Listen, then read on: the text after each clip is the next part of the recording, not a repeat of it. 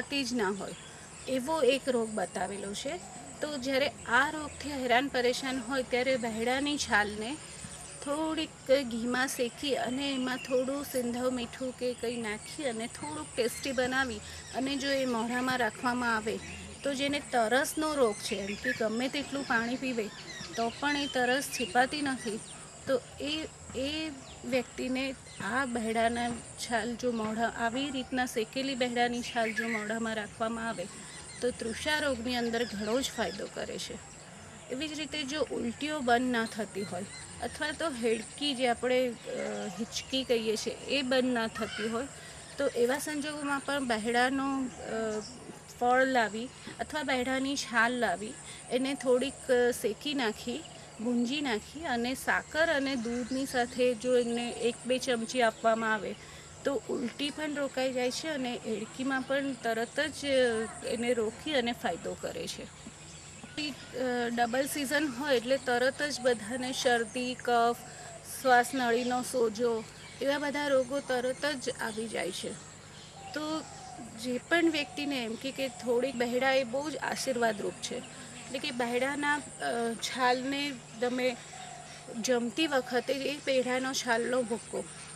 એક ચમચી જો નિયમિત રૂપથી ગરમ પાણી સાથે લઈ લો, તો એ જે ડબલ સિઝનની શરદી છે, એમાં ફાયદો કરશે. પણ એક વર્ષ સુધી સતત આ પ્રયોગ કરવાથી એનો ફાયદો અમે આયુર્વેદ પ્રેક્ટિસ કરનારાએ જોયેલો છે. ખૂબ જ તાવ ચડ્યો હોય અને એ તાવ ઉતરતો ના હોય એવા સંજોગોમાં બહેડાની બહેડાના પાન બહેડાની છાલ બહેડાના ફળ, એ બધાનો ભૂક્કો કરી અને ગરમ પાણી એક ગ્લાસમાં એને ઉકાળી અને ચોથો ભાગ રહી જાય, ત્યાં સુધી ઉકાળીને ગાળીને પીવામાં આપવામાં આવે. તો થોડાક જ ટાઈમમાં તાવનો તાવ ધીરે ધીરે ધીરે ઓછો થઈ અને પરસેવો થઈ અને તાવમાંથી મુક્તિ મળે છે. બહેડાનો વિશેષ કર્મ આપણે જાણીએ તો બહેડાને આમ તો કફગ્ન ત્રિદોષ તામક તો છે જ, પણ કફના કારણ, કફગ્ન ગણ્યો છે. એટલે ખાસ કરીને કફના કારણે જો કાનની અંદર કોઈ પ્રોબ્લેમ થયો હોય, ઘણાને કફના કફ, શરદી કફ થતા હોય એ જ વખતે કાનમાંથી રસી આવતી હોય છે અથવા કાનના અંદર અવાજો આવતા હોય છે. તો એવા સંજોગોમાં બહેડાનું બહેડાનું બધું જે છાલ છે કે પછી પાંદડા છે, ફળ છે, એટલે એનું પંચાંગ છે એ લાવી એને અધકચરું કરી, વાત કરી અને તેલમાં પકાવવામાં આવે અને એ તેલના ટીપા કાનમાં જો મૂકવામાં આવે તો જે કફના કારણે કાનના રોગો થાય છે, એમાં ઘણો જ ફાયદો થાય છે. નાના બાળકને ખબર નથી પડતી કે કફના કારણે ઘણી વખતે બોલી નથી શકતું, પણ એ કાનમાં ખંજવાળ્યા કરે છે, અથવા તો એમાં કાનમાંથી પરસી જેવું આવે છે. તો એવા સંજોગોમાં પણ ખાલી બહેડાનું પાનને શેકી ગરમ કરી અને એનો શેક જો કાનની આજુબાજુ કરવામાં આવે, તો નાના બાળકોને પણ એમાં ફાયદો થતો જણાય છે. બહેડાને આંખની જ્યોતિ વધારવા માટે પણ બહેડાનો ઉપયોગ થાય છે. બહેડાનો ઉપયોગ આંખની જ્યોતિ બે પ્રકારે આપણને, આપણે એનો પ્રયોગ કરી શકીએ છીએ. એક તો જમ્યા પહેલાં દરરોજ ઘી અને સાકર સાથે બહેડાનો એક ચમચી પાવડર લેવો. નિયમિત રૂપથી જો લેવામાં આવે તો આંખની જ્યોતિ પણ વધે છે અને ચશ્માના નંબર પણ ઉતરે છે. એ સિવાય બહેડાનું જે તેલ આવે છે, એ તેલનો હાથ અને પગે જો નિયમિત રૂપથી માલિશ કરવામાં આવે તો પણ આંખની જ્યોતિ વધારે છે અને ચશ્માના નંબરમાં પણ ફાયદો થાય છે. બહેડાનો તેલ બનાવીને ચામડીના રોગોમાં પણ આપણે એનો ઉપયોગ કરી શકીએ છીએ. ચામડીના રોગોમાં ધારો કે તમને પુષ્કળ આખા શરીરે ખંજવાળ આવતી હોય અથવા તો સફેદ કોળ હોય સફેદ જે દાગ પડે છે, સફેદ કોડ જે બને છે, એમાં પણ બહેડાનું તેલ જો નિયમિત રૂપથી લગાવવામાં આવે અને જો કુમળા તડકામાં બેસવામાં આવે તો ધીરે ધીરે ધીરે ધીરે એ દાગ ઓછા થાય છે. સાથે નિષ્ણાંત કોઈ આયુર્વેદ વિશેષજ્ઞ પાસે સાથેની જે દવાઓ છે, ઔષધો છે, એ પૂછી અને લેવી જોઈએ. જેથી કરીને આપણને કદાચ એ એવું બની એવું ઘણી વખત જોવામાં આવ્યું છે કે જ્યારે આ તેલ લગાવીને તડકામાં બેસવામાં આવ છે, ત્યારે કોઈક વખત એમાં ફોલ્લા પડતા હોય છે. તો એ ફોલ્લા ના થાય, એને બહેડાનું તેલનો ઉપયોગ કઈ રીતે કરી શકીએ?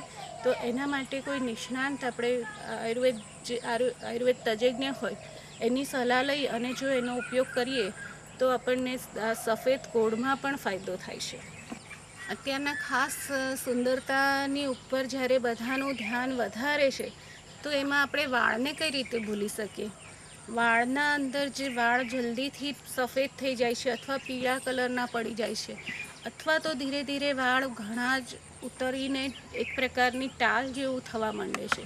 તેવા સંજોગોમાં બહેડાનું તેલ નાકની અંદર એક એક ટીપું મૂકવાનું અથવા તો એ જ બહેડાનું તેલ માથામાં લગાવવાથી જે વાળ જલ્દીથી સફેદ થાય છે, એની ક્રિયા ઓછી ધીમી થઈ જાય છે અને ધીરે ધીરે ધીરે ધીરે પાછા વાળનો ઓરિજિનલ કલર આવવાનો ચાલુ થાય છે. પણ આ ખૂબ જ ધીરજનું કામ છે. એટલે એને એક ધારું, એટલે એમ કે કે તમારે લગભગ એકથી બે વર્ષ સુધી બેડાના તેલનો ઉપયોગ કરવો જોઈએ. પુષ્કળ ઉધરસ થઈ હોય અને કફની ઉધરસ હોય, ત્યારે ઘણી વખત કફ કાઢવાની જ્યારે કફ કાઢીએ છીએ ત્યારે ઘસાઈ અને ગળફામાં સાથે લોહી આવતું હોય છે. તો એવા સંજોગોમાં પણ બહેડાની છાલનો પાવડર કરી અને ઘી અને હળદર સાથે લેવામાં આવે. તો એ જે ગળફાની અંદર છોલાઈને આવેલું લોહી છે, એ તરત જ બંધ થઈ જાય છે અને ઉધરસને પણ કંટ્રોલ કરી લે છે. એક આયુર્વેદમાં એક ત્રિફલા રસાયણ કરીને એક રસાયણ કર્મ બતાવેલું છે કે જેનાથી વૃદ્ધાવસ્થાને આપણે મોડેથી આવકારી શકીએ. એવું એક રસાયણ કર્મ આપણે બહુ જ સામાન્ય રીતે કરી શકીએ. ત્રિફલા એટલે ભેડા, હરડે અને આમળા. તો એની માટે સવારના ખાલી પેટે એક હરડે, જમ્યા પહેલાં બે ભેડા અને જમ્યા પછી ચાર આમળાનો પ્રયોગ કરવો જોઈએ. જો નિયમિત રૂપથી આ આપણે પ્રયોગ કરીએ, તો આપણને પાચન સંસ્થાન સુધરે છે પાચન શક્તિ સારી થશે અને ધીરે ધીરે ધીરે ધીરે આપણનામાં એક જે થાક છે કે જે આપણે ઉંમરના કારણે જે પણ રોગો છે એ ધીરે ધીરે ધીરે ઓછા થાય છે અને એ રોગોની સામે આપણને રક્ષણ મળે છે. એટલે કે આપણામાં એક ઇમ્યુનિટી પાવર એવી રીતનો ડેવલપ કરે છે કે અને એના દ્વારા એ વૃદ્ધાવસ્થાને મોડી આવકારે છે. બહેડા જેવી તો કેટલી વનસ્પતિઓ આયુર્વેદમાં દર્શાવેલી છે કે જે આપણા ઋષિમુનિઓએ એનો સર્વસામાન્ય ઉપયોગ આપણને એકદમ ઇઝી રીતે લઈ શકીએ અને રોગોને દૂર રાખી શકીએ એવા ઘણા બધા ઉપયોગો બહેડાના પણ બતાવેલા છે. પરંતુ આપણે એની ચર્ચા ફરી એક કોઈ વખત કરીશું. આવતીકાલે ફરી આવી જ કોઈ એક વનસ્પતિ જે આપણા ઋષિમુનિઓએ બતાવેલી છે કે આપણા પૂર્વજોએ જેને વનસ્પતિનું વર્ણન કર્યું છે, એવી જ એક વનસ્પતિનું આપણે કાલે ફરીથી એની ચર્ચા કરીશું. ત્યાં સુધી ભગવાન ધન્વંતરીના ચરણે આપણી જે ધરોહર છે, આપણી જે સંસ્કૃતિ છે, આયુર્વેદ દ્વારા આપ આપની સ્વાસ્થ્યની સુખાકારીની પ્રાર્થના અર્પણ કરું છું.